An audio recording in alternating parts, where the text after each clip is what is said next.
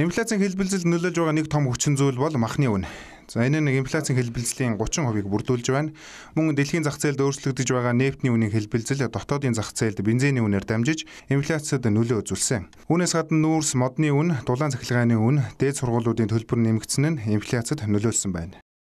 Сайжруулсан төлшийг гэр оролдон гэж энэ өглөөс бол нэвтрүүлж эхлэх гэж байгаа. Тэгэхээр зэрэг энэ бас яг хөө сүүлийн үед бидний авж байгаа мэдээлэлээр бол харьцангуй хямд өртөг одоо илчлэг чанар өндөртөө ийм мэдээлүүд бол байгаа. Тэгэхээр зэрэг энэ утгаараа бол бас энэ талаас ирж байгаа инфляцийн дарамт бол эргээд зөөлрөх болов уу гэж бодож байгаа.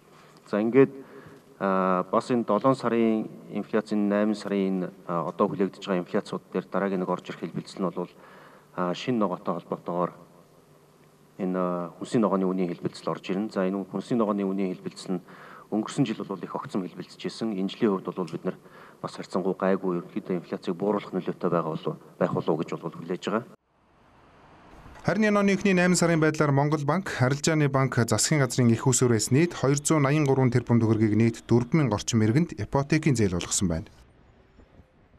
За энэ дунд өнгөрсөн оны яг мөн үетэй харьцуулах юм бол 100 тэрбум төгрөгөөр өссөн одоо дүн юм байгаа. Тэгэхээр 100 тэрбум гэдэг бол энэ онд төсөвт суусан дүнтэй баг тэнцүү шахуу тийм дүн байгаа. Тэгэхээр Монгол банкнаас хэрэгжүүлсэн одоо энэ онд хэрэгжүүлж байгаа шинжилсэн бүтцээр энэ оны нийт санхүүжилтныг 430 орчим тэрбум төгрөг хүрнэ гэсэн бидний тооцоо бол байна. За энэ нь бол өнгөрсөн онтой харьцуулахад санхүүжилтийн хэмжээ 1.5 дахин за нийт зээлдэгчийн тоо ер нь 2 дахин өсөх байхаа гэсэн тийм хүлээлттэй байгаа. Чанаргүй зээлийн хэмжээ 10.6% тэнцүү байгаа бол хугацаа хэтэрсэн зээл 4.8% тэнцүү байна. Хугацаа хэтэрсэн зээлийн 73%-ийг хувийн байгууллагын зээл бүрдүүлж байгаа бол чанаргүй зээлийн 24%-ийг уул уурхай, за 21%-ийг боловсруулах салбар, 11%-ийг барилгын салбарын зээл эзэлж байна.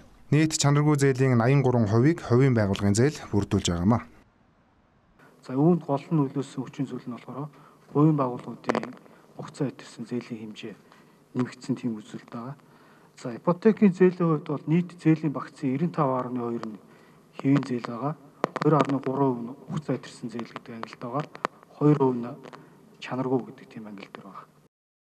2019 оны 2 дугаар улирлын байдлаар нийт гадаад өрийн хэмжээ 29.7 тэрбум ам долларт хүрч өмнөх улирлаас 171 сая ам доллараар нэмэгдсэн байгаа юм. Гадаадын шууд хөрөнгө оруулалттай компани хоорондын зээллэг нэмэгдсэн нь өөр нэмэгдэхэд нөлөөлжээ.